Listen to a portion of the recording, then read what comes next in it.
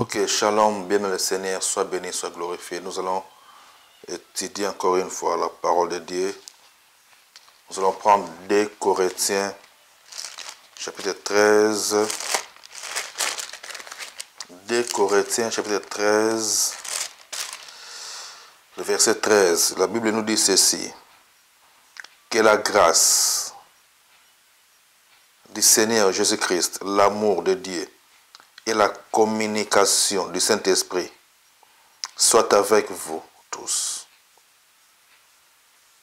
Dans d'autres versions, comme dans la Bible de Thompson, Thompson, euh, c'est écrit même chose, mais ils disent que la grâce du Seigneur Jésus-Christ, l'amour de Dieu, la communion, que la communion et la communication du Saint-Esprit soient avec vous.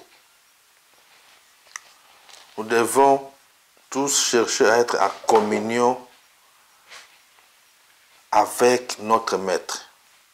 Vous savez, la communion, c'est plus qu'une simple relation. Être en communion, c'est vraiment être en union avec une personne. C'est avoir une intimité avec la personne. C'est ce qu'on dit être en communion. Que vous êtes unis avec la personne. Alors nous, nous sommes amis avec le Saint-Esprit, nous sommes amis avec Dieu, nous sommes en communion avec notre Maître.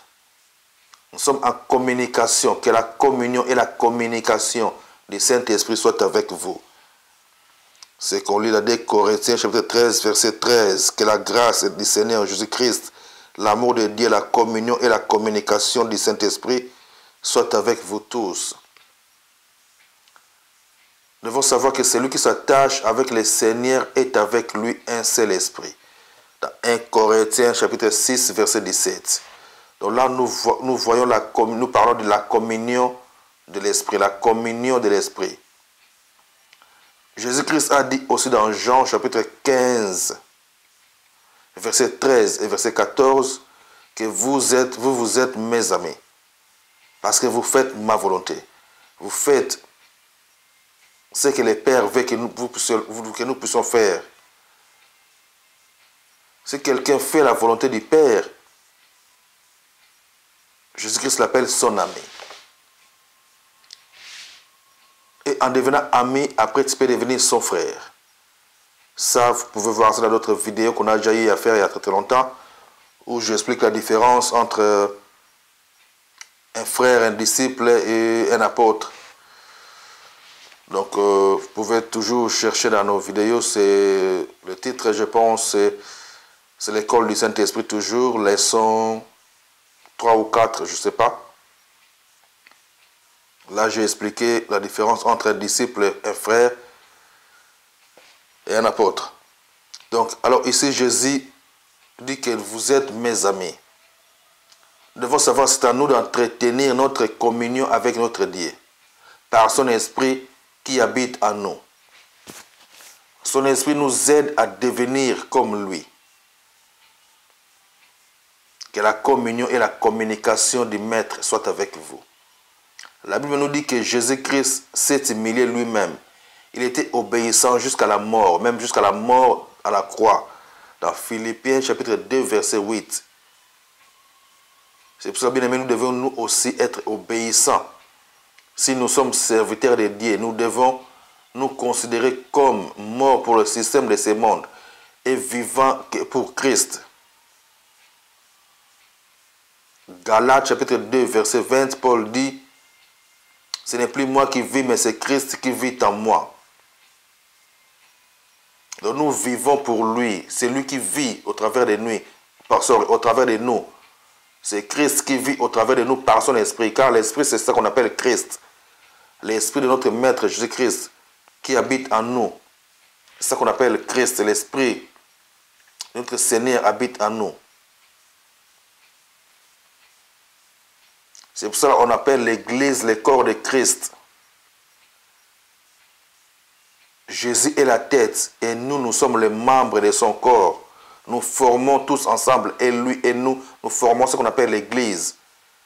Notre Maître Seigneur Jésus, lui, il est la tête, nous, nous sommes les membres de son corps. C'est pour cela que la communion et la communication du Saint-Esprit doivent être avec nous. Parce que nous sommes tous les membres les uns des autres.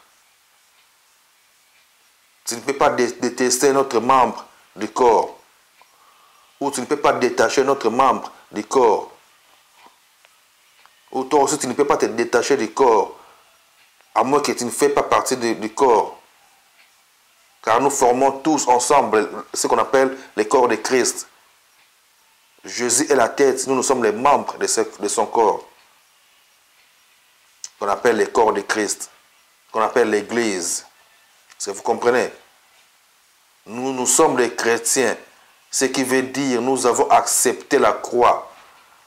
Nous avons accepté de souffrir, nous avons accepté de mourir pour notre maître devons supporter tout, comme Jésus-Christ a tout supporté.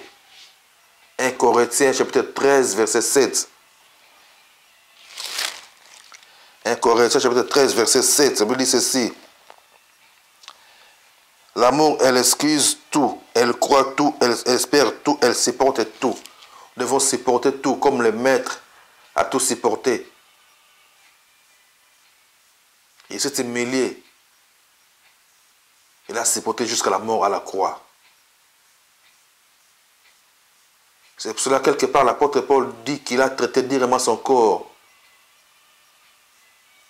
afin de ne pas tomber après avoir, péché prêché aux autres. De ne pas lui-même tomber, se retrouver qu'il a abandonné la foi. Non. Il persévérait. Nous devons persévérer, peu importe les problèmes devons savoir que la communion et la communication du Saint-Esprit doivent être avec nous. Que la paix de Christ doit toujours nous accompagner. Il a dit dans Luc, chapitre 23, verset 31, S'ils ont fait ces choses au bois sec, au bois vert, qu'arrivera-t-il au bois sec? Si lui-même le maître a été crucifié, si lui-même le maître a été haï, et toi, tu ne peux pas attendre que les gens viennent acclamer pour toi. Non. Cherche pas qu'on t'acclame si tu es serviteur de Dieu. Si lui-même il a été détesté, si lui-même il a été châtié, si lui-même il a été mis à la croix, nous devons nous armer avec cette pensée-là. Nous devons avoir en nous cette pensée souffrir pour le maître. C'est pour cela que Paul a dit que non, ce n'est plus moi qui vis, mais c'est Christ qui vit en moi. Nous devons nous considérer comme morts et vivants pour Christ. C'est ça, être en communion avec l'Esprit. C'est ça la communion de l'Esprit du Maître. Être un avec l'Esprit du Maître.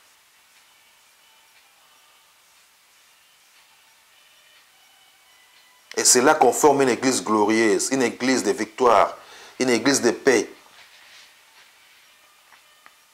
Car nous avons la paix intérieure. Peu importe ce qui peut arriver tout autour de nous, peu, peu importe les problèmes qui peuvent venir.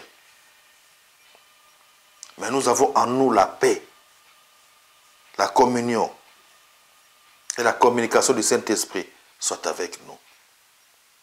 La communion avec l'Esprit de notre Maître demande qu'on accepte la croix, d'être crucifié pour la gloire de Dieu. Est-ce que vous comprenez? Nous devons nous attacher avec sa parole. Quand nous nous attacherons à lui, quand nous montons vers lui, lui aussi descend vers nous. Quand on s'approche de lui, lui aussi s'approche de nous.